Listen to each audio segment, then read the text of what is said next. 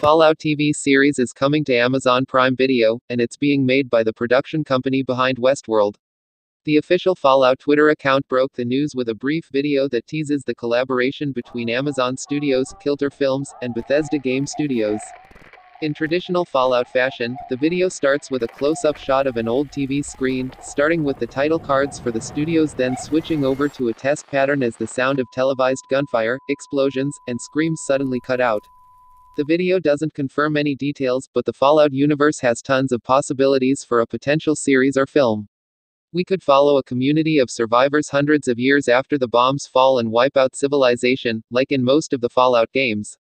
We could see more of life in the 50s styled, ultra imperialist USA of the late 2070s as the Great War approaches, which we got to experience ourselves at the beginning of Fallout 4.